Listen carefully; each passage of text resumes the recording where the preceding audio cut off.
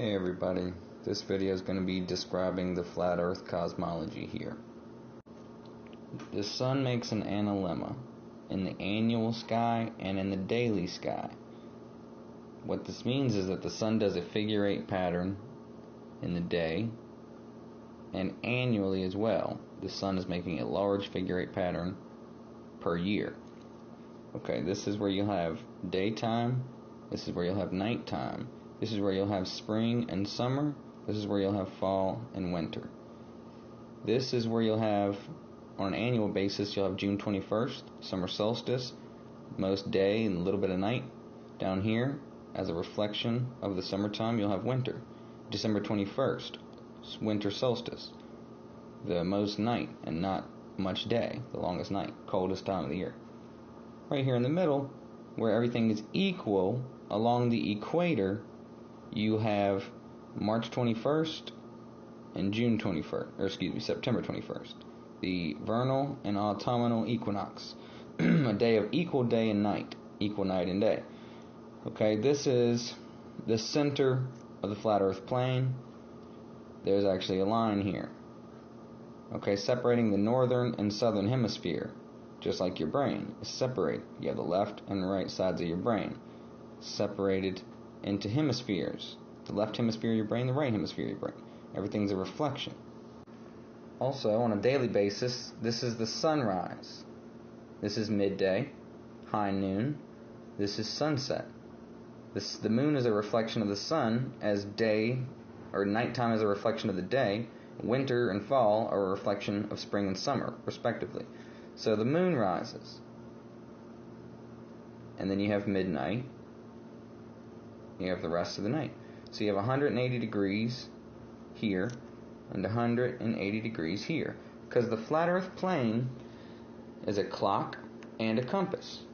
Okay? So let's talk about the compass first. The compass points north, south, east, and west. A compass rose with eight points. These are the degrees. There's 100 or there's 360 degrees on the compass. Okay? You have 90. This makes a 90 degree angle you have another 90.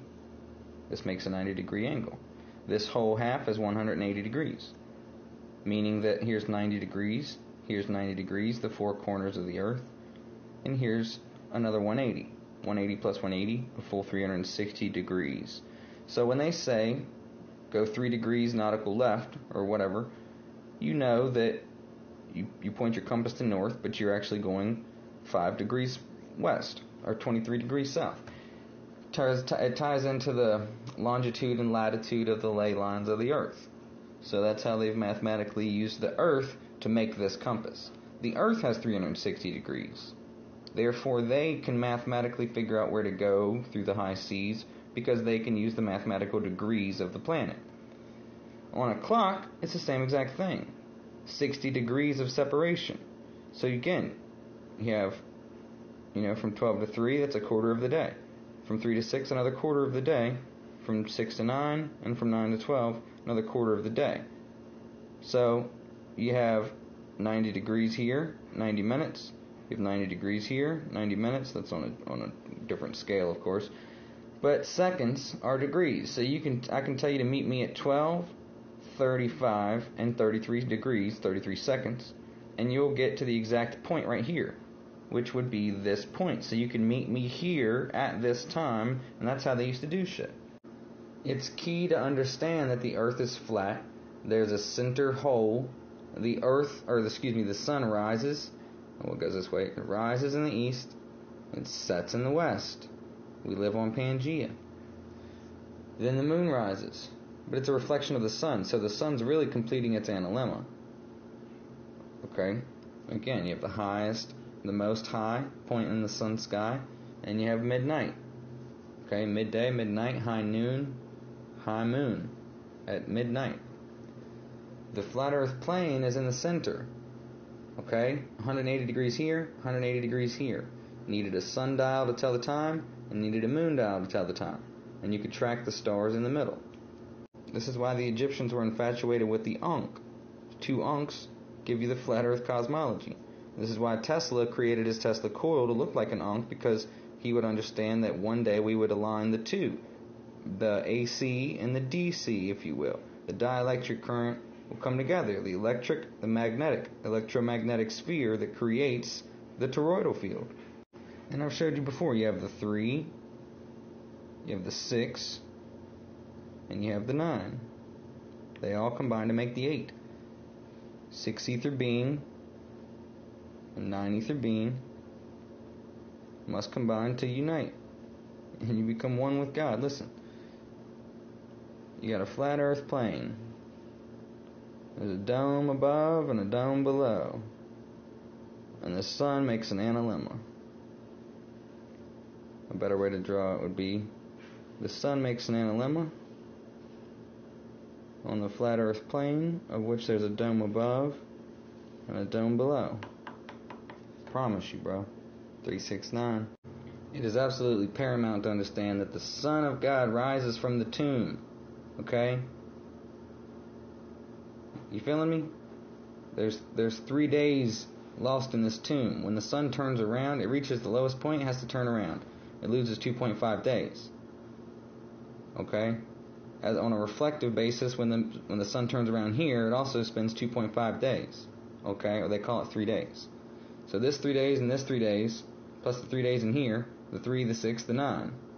It's all electromagnetic energy.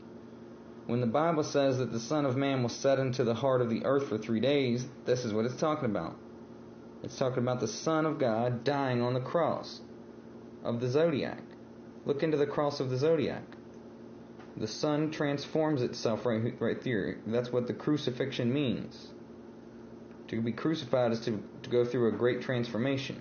Jesus died on the cross, and the Christ was born again from the tomb in three days.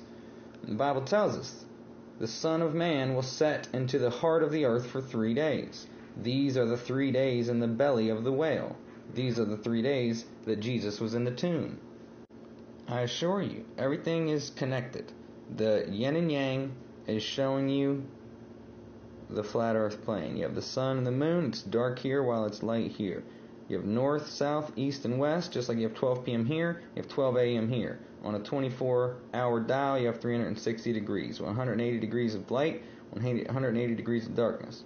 You spend six months, spring and summer, six months, fall and winter.